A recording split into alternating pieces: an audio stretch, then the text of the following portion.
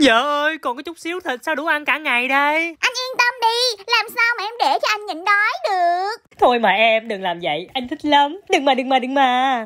Gọt củ đi em nấu nuôi thịt bằm cho ăn. Vậy mà nãy giờ tưởng ăn cái khác. Gọt lẹ lên chứ không phải ngồi đó chơi à rồi xào cái thịt bằm này lên. Bỏ vô một xíu muối, đường, hạt nêm cho cái thịt nó đậm đà Nhớ thêm miếng tiêu cho nó thơm nha. Vợ ơi, trông cắt vậy được chưa? Hơi bự nhỡ thêm một xíu nữa là được. Nhớ vậy được chưa vợ Đợi xíu ta đi lấy củ chổi Sau khi ăn củ chổi xong chồng mình cắt củ rất là vừa miệng. Củ dành lâu chín nhất cho nên mình bỏ vô trước 10 phút sau bỏ khoai tây với củ sắn vô sau. Ít nước quá cho nên mình bỏ thêm một tô nước. Hầm tới khi nào củ chín mềm rồi bỏ thịt bằm xào lúc nãy vô. Trời ơi cái nồi này ăn cả ngày cũng không hết nữa đó. Vớt mấy cái bọt ra rồi sau đó nêm nếm thôi. Hai muỗng muối một muỗng đường và một muỗng hạt nêm. Nếm thử một miếng coi vừa chưa nè Ui cha, quá đỉnh này, một phát ăn ngay. Bây giờ chỉ cần luộc nuôi lên là có ăn rồi. Nhìn cái màu hấp dẫn ghê, cho thêm miếng tiêu và miếng hành phi nữa là bơ phẹt Wow!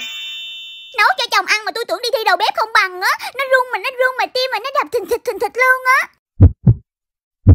Trời ơi, ngon quá vợ ơi. Cái nước hầm vừa ngọt, vừa thanh mát mà vừa đậm đà nữa. Đúng là vợ anh số 1 Phải ăn thử mới được. Biết đâu ông sợ cổ chổi quá nên ông nói xạo thì sao? Ê nó ngon thiệt nha. Chị em mình nấu món này ăn thử. Vừa không bị mập mà lại còn mát người nữa.